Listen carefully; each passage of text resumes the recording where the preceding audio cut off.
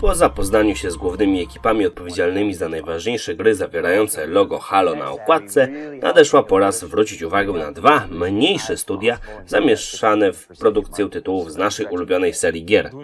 Szybki rzut okiem na ich dorobek nasuwa wniosek, że filmy poświęcone im osobno trwałyby od jednej do dwóch minut, więc nie ma sensu się rozdrabniać. Czas na tych od remake'ów i tych od mobilek. Saber Interactive i Vanguard Games.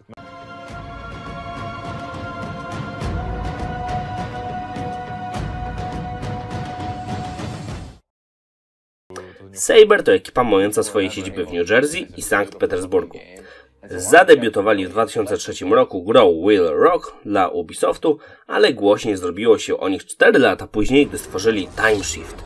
Zasłynęli wtedy jako najwięksi pechowcy, bo ich strzelanina z motywem kontrolowania czasu trafiła między pierwsze Modern Warfare, Crysisa, Assassina, Uncharted czy konwersję Gears of War na PC. Ich gry obsługiwała autorska technologia Saber 3D, która obecnie została rozwinięta do swojej czwartej generacji. Zespół od silnika graficznego znajduje się w Stanach, zaś właściwe gry powstają na terenie Rosji.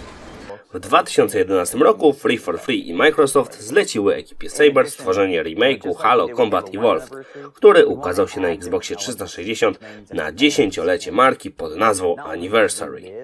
Rdzeń gameplayu został nienaruszony, a rolą speców od silników graficznych było odtworzenie w warstwie wizualnej materiału źródłowego, tak by kultowa produkcja otrzymała wygląd na miarę siódmej generacji konsol. Istotna była też możliwość przełączania grafiki na tą oryginalną w dowolnym momencie.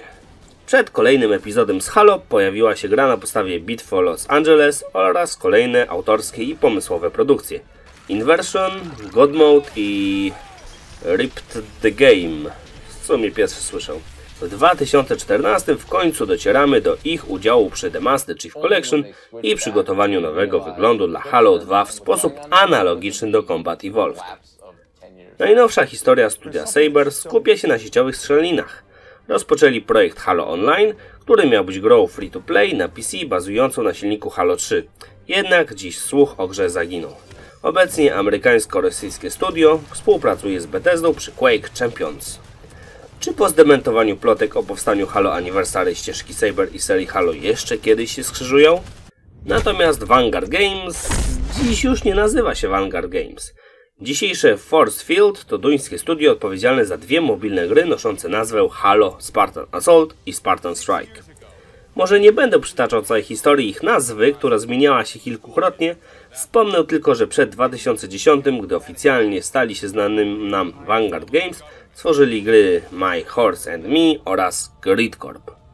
Później nadszedł czas na następcę ostatnich produkcji, czyli Gatling Gears i w końcu współpracę z Microsoftem. Spartans, Assault i Strike powstały z zamysłem wsparcia Windows Phone'a, ale ostatecznie pojawiły się też na innych systemach i platformach. W 2016 nastąpiła fuzja z Forcefield, przez co są dziś znani jako Forcefield VR. Zgadnijcie, jakimi grami się zajmują.